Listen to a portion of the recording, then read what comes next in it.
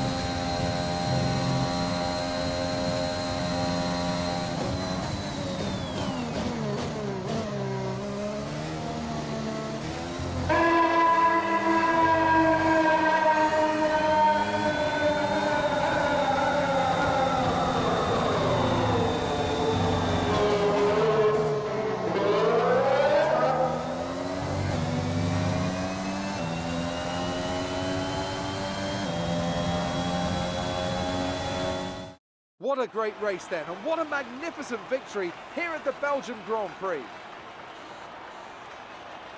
What do you think it was, Ant, that gave them the edge over the competition today?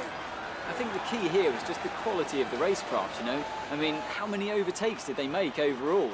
I'm sure we have a stat person keeping score somewhere, and it was fantastic to watch, wasn't it?